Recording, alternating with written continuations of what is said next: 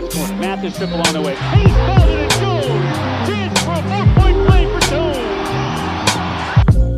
Beecham rejects him at the rim.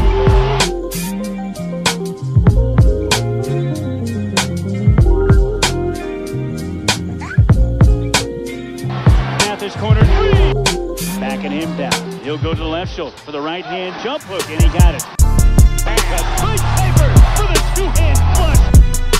Takes the three, drives the baseline, and flushes with two hands. Logwood takes the three. Logwood down the center of the lane and lays it in. Over on Johnson.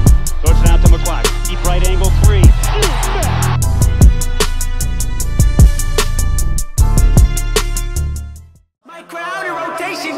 Are you on 10 yet? Are you on 10 yet? Wait, are you on 10 yet? Are you on 10 yet? I live on 10. Wait, are you on 10 yet? Are you on 10 yet? Hold up. Place up, the place up, the place up, the place up,